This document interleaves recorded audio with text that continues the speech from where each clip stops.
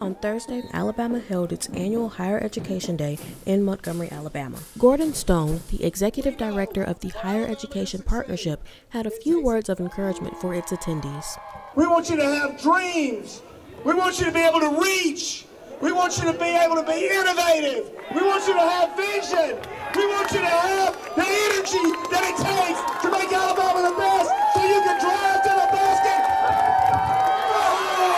Lucas Parker says he hopes that lawmakers can remember a college's impact on students when making new bills. Goal every year is kind of just to reach legislators and senators and be able to tell our story about how our university has impacted us, and then we hope that throughout the year during their legislative sessions, they kind of remember our stories when they're making bills about education and about higher education. Elizabeth McMahon says that during the event, schools talked with legislative members about the importance of college and showed some school spirit as much Trojan pride um, and show and represent Troy University to the best of our abilities. And I think we achieved that goal. we tried to be loud. Um, we definitely, they knew that Troy was there and we got to talk and discuss some things with different um, important people there. Mekhia Woods, Troy, Trojan Vision News.